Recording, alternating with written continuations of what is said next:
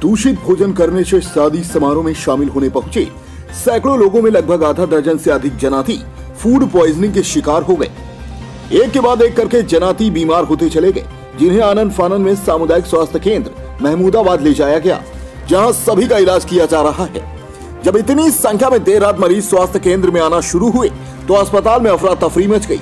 आनंद फानन में जनातियों को अस्पताल में भर्ती कराया गया, लेकिन वहाँ भी सभी के लिए जगह कम पड़ गई। दो जनातियों को एक ही बेड पर लटकाया गया, जहाँ पर इसी दशा में उनका उपचार किया जा रहा है।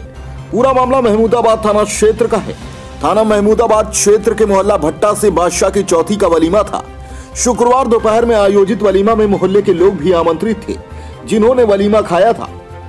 शुक्रवार रात वलीमा में शामिल मोहम्मद कलीम पुत्र सलीम निवासी महमूदाबाद, खास की तबीयत बिगड़ी तो उन्हें इलाज के लिए आनंद फानन में सीएससी ले जाया गया, जिसके बाद लगातार मरीज़ आते रहे। वलीमा में शामिल लोगों में बुज़ुर्गों व बच्चों की तबीयत सबसे ज़्यादा बिगड़ी। घटना को लेकर इलाके में हड़कंप मचा हुआ है।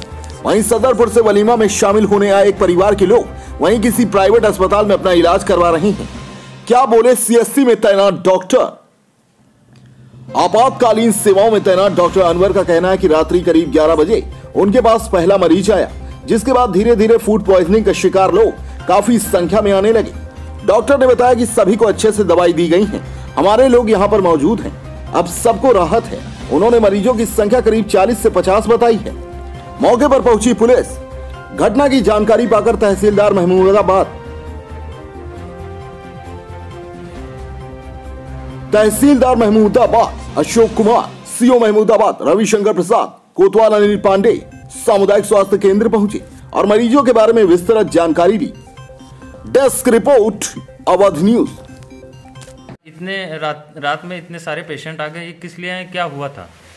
असल में आज इसी महमूदाबाद के शहर में मोहल्ला भट्टे में एक दावत वलीमा का प्रोग्राम था जिसमें खाने में कुछ गड़बड़ी हुई है। उसकी वजह से सब लोगों को फ़ूड पॉइजनिंग हुई है जिसमें अस्पताल में लगभग 40 से 50 लोग उल्टी दस्त पेट में दर्द ये सब कंप्लेन लेकर के यहाँ पे आए हुए हैं।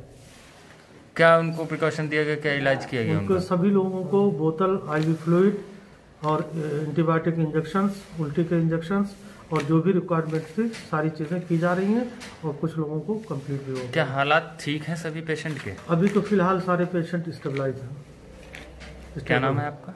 डॉक्टर मोहम्मद अनवर।